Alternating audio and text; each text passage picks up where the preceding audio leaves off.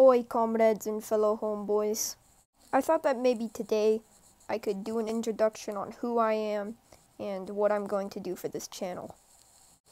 So, uh, what I'm going to be doing for this channel is I'm going to be making storytime videos for all of the fans here.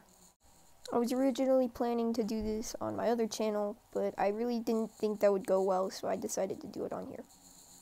So I hope you enjoy what I'm going to try and give you guys, and yeah. Um, this is just me. I hope everyone else gives their introduction, and that's about it. Thank you. Bye.